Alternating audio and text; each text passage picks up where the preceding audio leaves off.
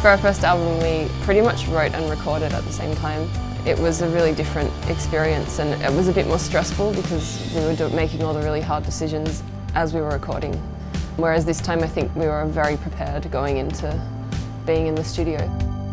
It's been maybe more fun more of the time because we haven't had to stress while we were recording.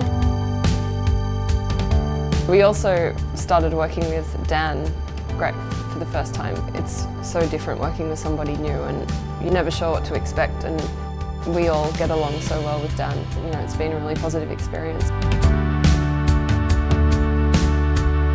In terms of writing parts, they come away from the band and they also come when we're all playing together.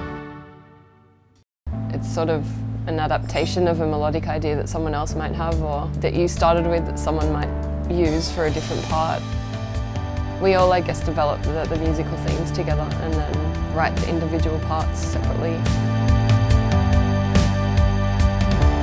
I was pretty happy with where we were with all the songs.